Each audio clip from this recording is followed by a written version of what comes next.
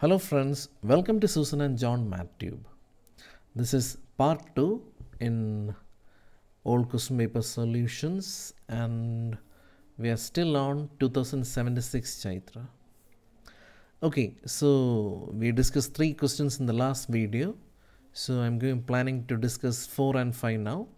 Okay, so if the probability that an individual suffers a bad reaction from a certain injection is 0.001 uh, after the corona covid season we are nowadays we have the vaccination and we always hear about these things. Some people have allergic reactions some people become very sick etc etc so this is a normal thing. So there is a bad reaction to a certain injection and the probability that it might happen is 0.001 okay now they took a sample of 2000 people. Okay now look at this. Clearly the reaction let it be bad reaction let it be good reaction it can be counted integer wise. We won't have one and a half person suffering or we won't have 5.35 people suffering so clearly the distribution is discrete. And I can see that this is a but uh, what do you call binomial distribution because I can see the Bernoulli trial look at this let's say one person took the injection. So that person might have a bad reaction or he might not have a bad reaction. And since we are talking about bad reaction and the question is about bad reaction i'm going to call this to be a success. Remember it is just a label. It has nothing to do with real life. And no one will call getting a bad reaction to be success in real life. And the probability of success is given to be 0.001 that means I can calculate Q by working out 1 minus P. So here we go, we have the Bernoulli trial. The same experiment is repeated again and again and again and again. And they took a sample of 2000 people. So I'm 100% sure this problem can be solved with binomial distribution. And if you're solving with binomial distribution, the probability uh, first of all we have to write this. Let x be the discrete random variable associated with the number of people uh, who end up with bad reaction after taking the injection. Then probability of x equal to x is equal to 2000 cx into 0.001 the whole power x and 1 minus 0.001 the whole power 2000 minus x. So if you want you can work out with this formula etc etc but I noticed something. Do you remember binomial problems can be approximated into Poisson problem?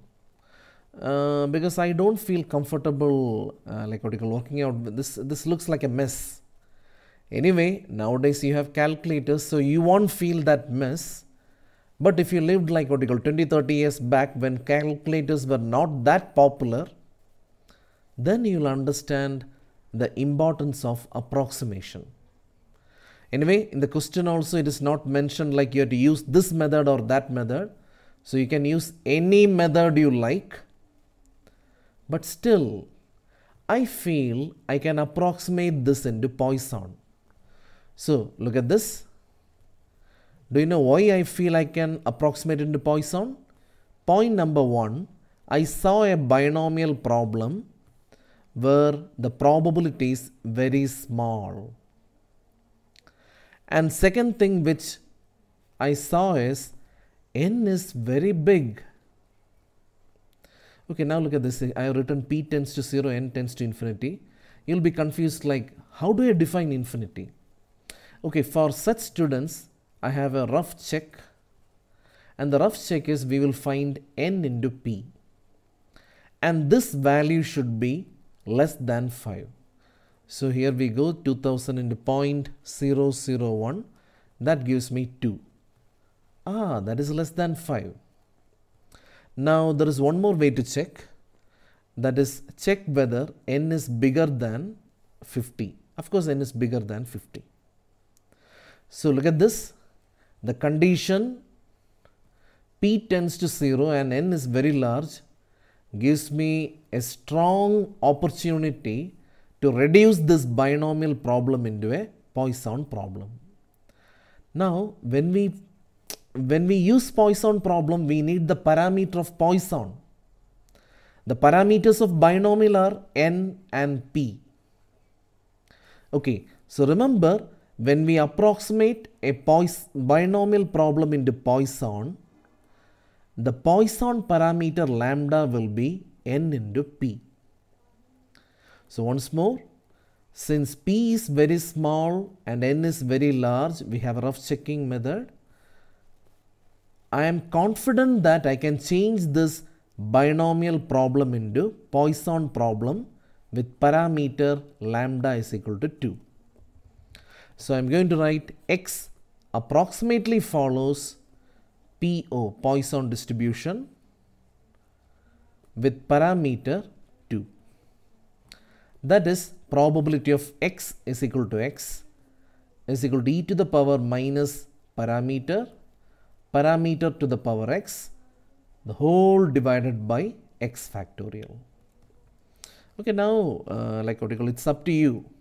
In sometimes, sometimes I've seen in some question papers, they will ask by using approximation or by using an appropriate method, etc. etc. Here the method is not mentioned, so you can use any method you like. Anyway, the first question is exactly three individuals will suffer bad reaction. So look at this. We have already mentioned that capital X denotes the number of people who will end up having bad reaction. So in part A, the required probability will be probability x is equal to 3. Look, x stands for the number of people who will end up with bad reaction and that is equal to 3 and the answer will be e to the power minus 2, 2 to the power 3 by 3 factorial. You can use a calculator and find the value 0 0.1804. Okay, now the second part. What is the probability more than 2? Okay, so this is what they want. And more than 2 means it can be 3, 4, 5, 6, 7. So I'm going to make it 1 minus x less than or equal to so that gives me probability of x equal to 0, 1, 2 and I have to add them up because they are mutually exclusive. And that's quite easy. You can do the calculation yourself 1 minus and please mind the bracket. If you don't put the bracket properly then you might get wrong answers so here we go e to the power minus 2 2 to the power 0 by 0 factorial e to the power minus 2 2 to the power 1 by 1 factorial plus e to the power minus 2 2 to the power 2 by 2 factorial. Take e to the power minus 2 outside. Anyway, I got 0.3233. Please check if the values are correct. I did really fast. Yeah. Okay, let's move to the next question. If the inner diameter of a rod follows normal distribution. Now, I always feel that normal distribution and gamma distribution has one advantage. The students don't have to worry about the distribution. For example, if you look at the previous question, it is nowhere mentioned it is binomial. It is nowhere mentioned you have to convert it into uh, Poisson. But the advantage of normal distribution and gamma distribution is the distribution will be clearly mentioned. Okay, now look at this. percentage is given. That means the probability is given. That means this is a question related to inverse probability. Okay so let's start. Let capital X be the continuous random variable associated with inner diameter of a rod. Okay now it is given that 7% of the rod has diameter less than 35 okay. So probability diameter which we denoted by capital X less than 35 is 7 out of 100 that will be 0.07 and they are given one more thing. Inner diameter fewer than okay is equal to 0.89 okay now let's assume the distribution is n sigma square. Now look at this. Book to book it will be slightly different so be very careful. Sometimes they denote by mu and sigma squares and some authors prefer to write mu comma sigma. So to be extra careful. Yeah. Okay and mu denotes the mean sigma denotes the standard deviation sigma square denotes the variance now I hope you remember the dialogue. Let x be any normal distribution then the transformation x minus mu by sigma will change it into the standard normal distribution. So what we do is we are going to standardize it less than 35 minus mu by sigma 0.07. Remember these problems are related to inverse normal probability. Because probability values are given we are going to find probability inverse. And remember one very very very very important thing is when you find probability inverse the symbol should be less than or less than or equal to.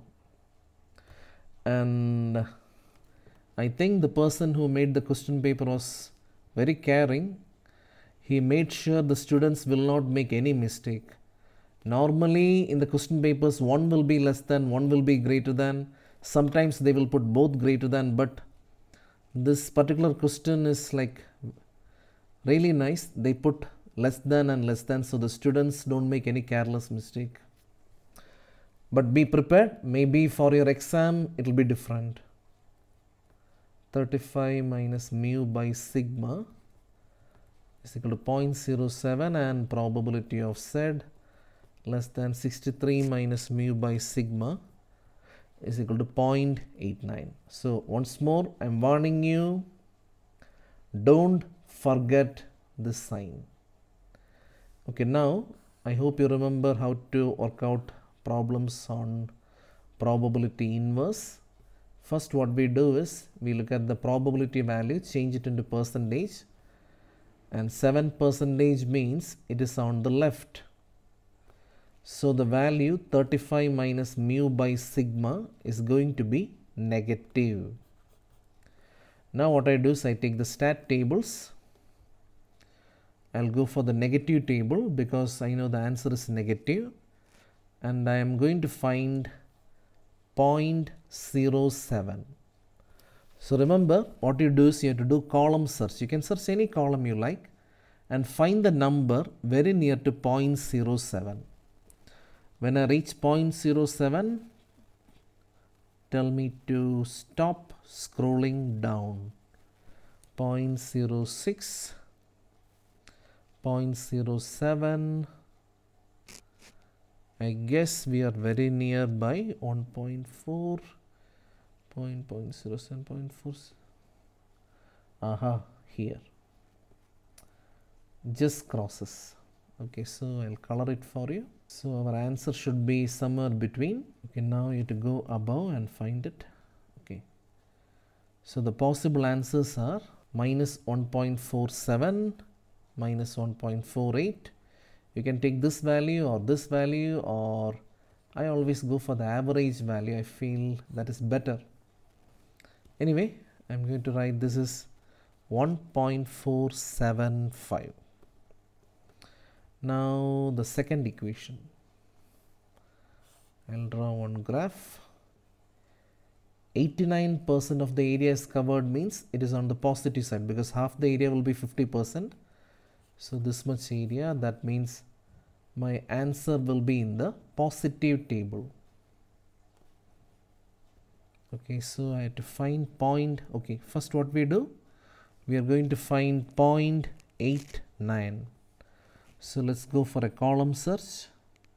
0.8485 ah, I can see it crossed 88 so it should be somewhere near 89 ah here. 8888 and 89 so my answer should be somewhere here. Okay so let's go for the arrow. 1.2 okay so my answers are 1.22 1.23 I'll go for the average value. 1.225 anyway we end up with two equations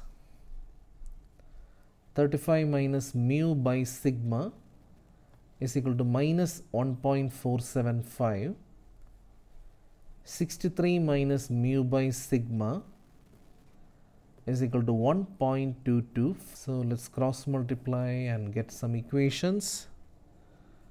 Minus 1.475 sigma plus mu is equal to 35 equation number 1 and 1.225 sigma plus mu is equal to 63 now take your calculator put it in equation solving mode, solve it.